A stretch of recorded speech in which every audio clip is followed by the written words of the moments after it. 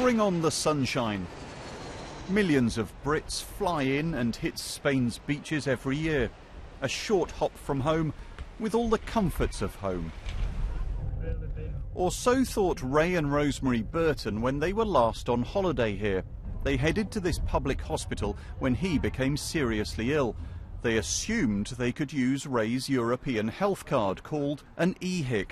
It's supposed to give free access to emergency care in Spain.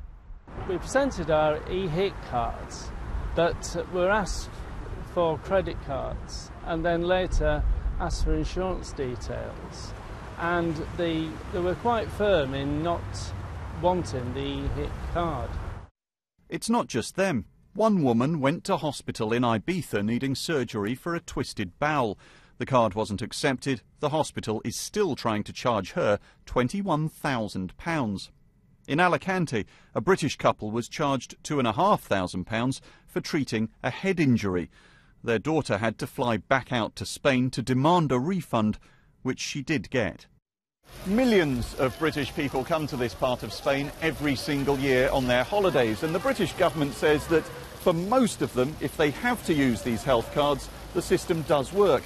But there is concern about when it doesn't work, and not just for British people, but for holidaymakers from across Europe. That's why Spain's health officials have now been told by the European Commission to fix the system. The Spanish Health Ministry says it's been working properly, but it will cooperate. Far, far away from the sunshine, Brussels today wasn't just pointing the finger at Spain. It's the European Commission's job to police how the EU's single market is working. Today it also said the UK is breaking the law, failing to pay EU migrants living in Britain the benefits they're due. The government says its benefit tests are fair and necessary, but the Commission's taking the UK to court over this. Well, let's be very clear on this. We want the UK to apply the EU rules against benefit tourism. Uh, we're not talking about letting people get access to UK benefits from the day they get off the ferry or get off the plane.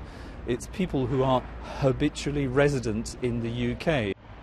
So today, Britain divided on the EU, happy with the action against Spain, less so perhaps about that against the UK. Matthew Price, BBC News, Brussels.